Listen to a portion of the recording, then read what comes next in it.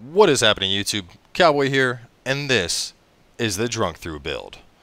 So as many of you know, for the Dark Souls Drunk Throughs, we always create Bigus Dickus, and he is always a personification of a big beefy character that usually uses miracles as well as very heavy weapons, and I am so happy with how he turned out in Dark Souls 3.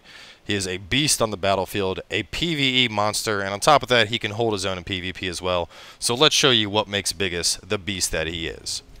So we are at SL 120. The main stats you want to aim for here are the 40 endurance, 34 strength, 16 dex, and then 30 faith. Uh, we also have 18 attunement to give us 3 spell slots, though you could get away with just 14 attunement. And on top of that, pretty much everything else we had, we dumped into Vigor, tried to get that up nice and high so we have plenty of HP because, let's be honest, if you're going to be playing Dark Souls drunk, chances are you're going to be getting kind of sloppy. So to take a look at the equipment, the fashion, the Brigand Hood, Eastern Armor, Brigand Gauntlets, and Eastern Leggings. Now, I was kind of torn between going for the Brigand Hood or the Sellsword Helm. Ultimately, I chose the Brigand Hood just because I really kind of like the gold trim on it. Um, that also goes well with the Brigand Gauntlets, and then I just feel it kind of comes together very nicely with the Eastern armor, whereas the actual Eastern Gauntlets and Eastern Helm didn't really fit with the look all that well. Uh, as for the actual weapons, our primary weapon is a refined Lothric Greatsword plus 10. Definitely a well-kept secret. This thing is awesome. It has the Stomp weapon art, and on top of that, it has a good bit of lightning damage. And despite that, we can still buff this baby. So right now, we are at 566 attack power, right? Just putting on Lightning Blade, we get up to 701 attack power. Now, if we really want to get buffed up, the actual combination buff, we're going to go Sacred Oath from the Sunlight Sword, Deep Protection, and then Lightning Blade. And that is going to put us... No, I put it away. there we go. 821 attack power. A monster, monster weapon for beating even the toughest of enemies. of course, as you saw, we do have the Sunlight Sword, and this is for a few reasons. Um, one, obviously, it gives us Oath of Sunlight, which is, you know, no reason to not take it in buff form. We can get it with FP. But on top of that, it gives us a nice quick option to finish people off, whereas the Ultra Great Swords are kind of slow for killing people, you know? Um, especially against players. If they, like, your stomp is probably the best way to take out players with an ultra, but if people just refuse to try and match up to you, the Sunlight Sword gives us a nice option to finish them on off. So as for the reason behind our stats, um, obviously we need the 16 dex to meet the requirement on the Lothric Greatsword, and we only need 24 strength here, so you're probably wondering why do we go up to 34 strength? And that is so we can have a Morne's Great Hammer, another wonderful, wonderful strength weapon with the faith requirement, and as you can see, at 34 strength, when we two-hand it, we are able to use it.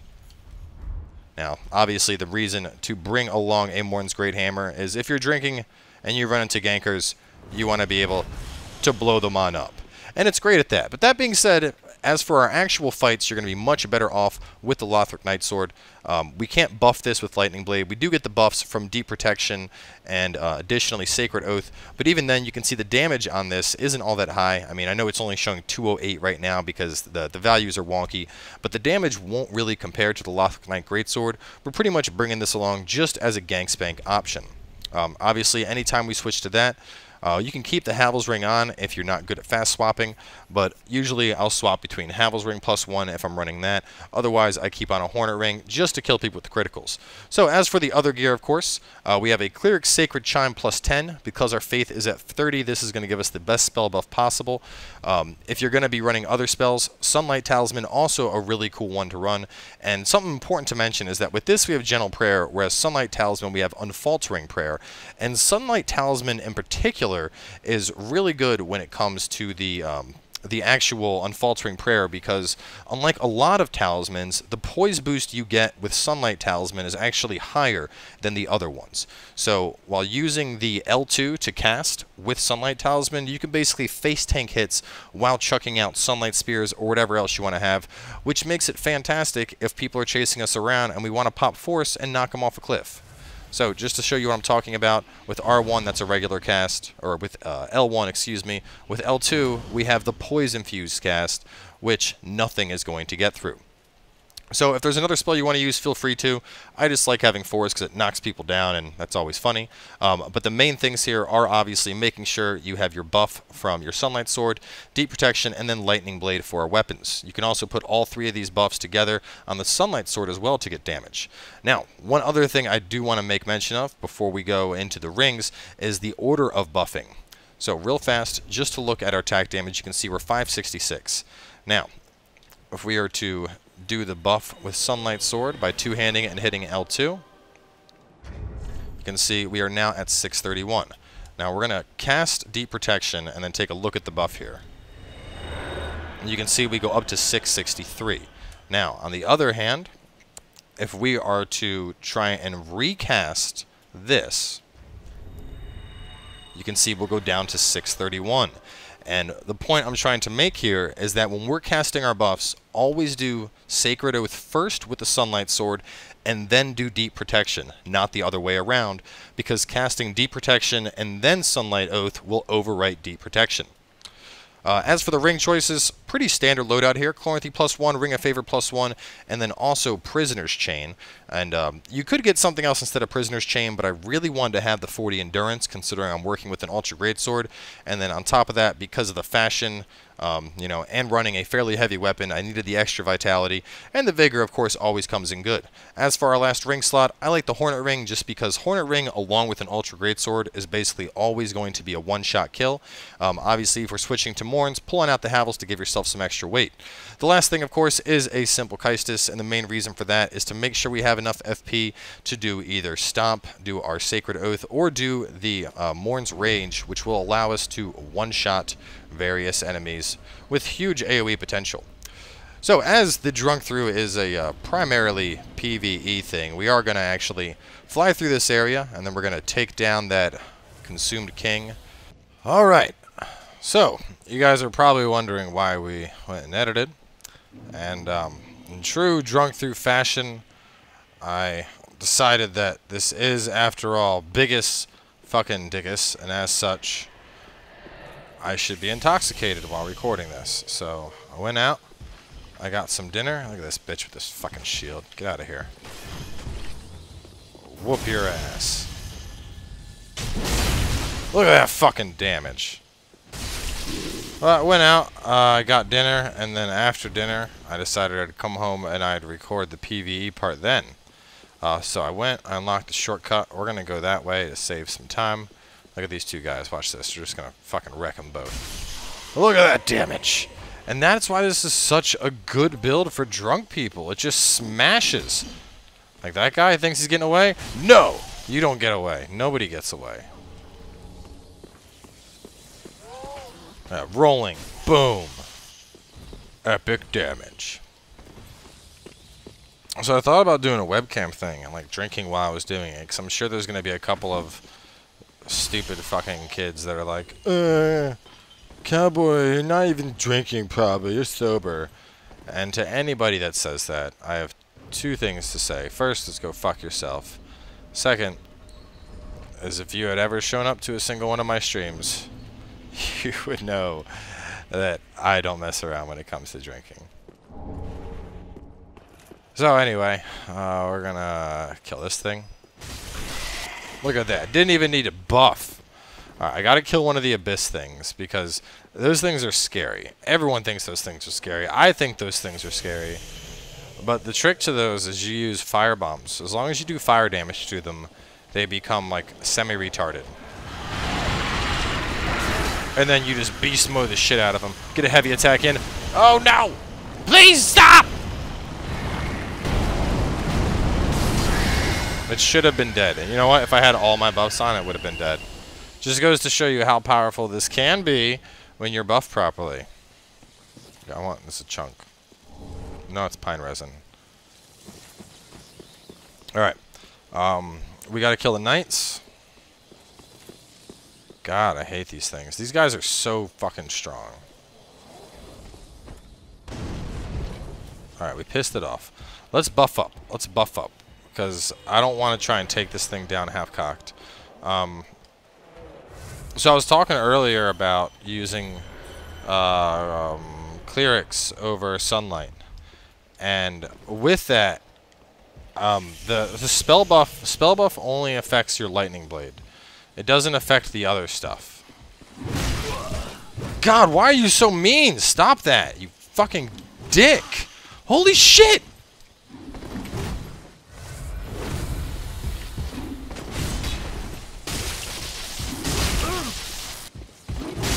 Look at that. We're just going to trade hits with him. We'll take him down. Now for the big one. There we go. Ah, oh my god, that was like all of my health. Wow. Wow. Wow. Why are you so scary? And what sucks about these guys is you can't even like... Like, his kick just did so much damage. Why is that a thing?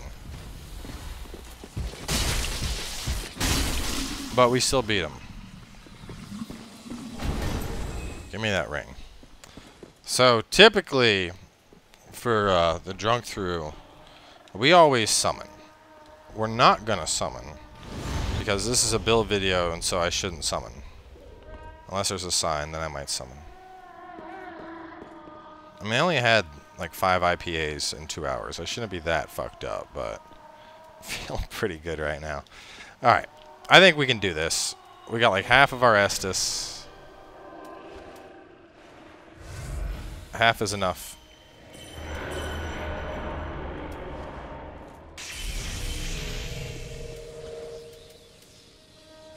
Let's do this.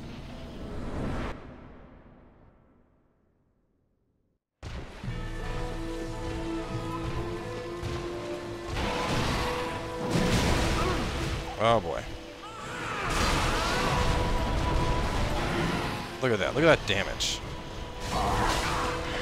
Those are just R1s. Let's give him a good old R2. Oh, yeah! Oh, do you like that? Awesome. You can also block with this. It's not the best, but you can. Less than ideal blocking, but it works. Ow, that was supposed to be a charged R2.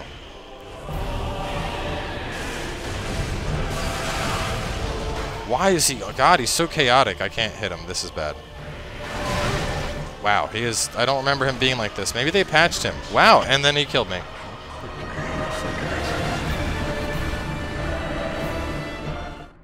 So that's okay. That's part of playing the game drunk. That's just what happens. But this time he's going to die. We're going to just run past that cunt-faced knight that has uh, invincible poise, even though we don't have poise. Thanks FromSoft for breaking poise. And um, we're going to kill him without any trouble. You see, you don't, like, if you can kill everything in your first go after drinking, that's, well, then you haven't had enough to drink, is what I'm trying to say.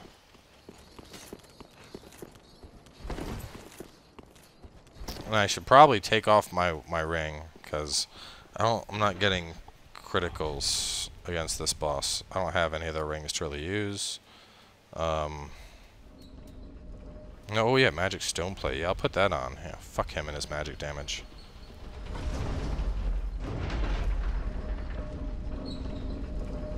This is probably this is probably gonna look. I don't know if this is just gonna look sloppy, or what it's gonna seem. It's probably gonna seem like a sloppy thing to do for a build video, but I mean, I was all like talking proper and welcome to the video guys. Today we're gonna look at blah blah blah. And I don't want to do that. Not for Bigus. Bigus Bigus deserves better than that. Fuck off knight. I really like that sword too. Cathedral Knight great sword. That's another really cool weapon. That'll probably be in a build in the future just because it's badass. Is he gonna follow me? I really hope he's not. Oh boy he is. Yes he is. Oh you can fuck off sir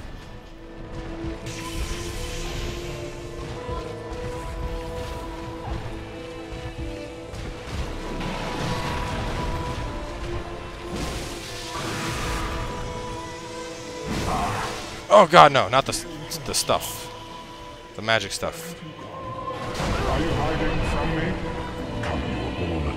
So there's actually a lot of like really cool theories about this guy. Like is is the child is he actually like I mean obviously he's blind he doesn't have eyes but is he yelling about a a uh, does he just think his kid's there or or could it be that the kid's invisible kind of how Priscilla is in Dark Souls because it's part dragon which I think that's a really cool theory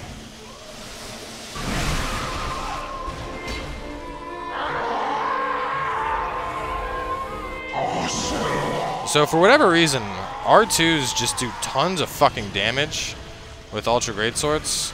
So just do lots of R2s. Um, if buffs fall off, the most important thing to get back up is Lightning Blade. Everything else you can live without. Lightning Blade, re-enchant that. That's that's your big damager. Out of all, remember like when we were looking at, I think we were looking at AR when I recorded the like, this is the drunk through build. Uh, but yeah, definitely, definitely keep Lightning Blade up. Because that's going to let you fuck shit up. Come on, you ugly cunt. You look like a wrinkled old ball sack. Come here. Yeah, you're fucking dead! And then obviously praise the fuck out of that sun because you just beat the boss drunk. So that's how you do stuff uh, with the Drunk Through build. Yeah, you just kill bosses, put on a bunch of buffs and beat the shit out of them, and then get a bunch of souls that you don't want to spend because you're already 120. But then again, if if you know you're really playing a drunk build, you just don't give a fuck. So go on and spend the souls and do whatever you want. Either way, um, let's show you guys some PvP with a cool song.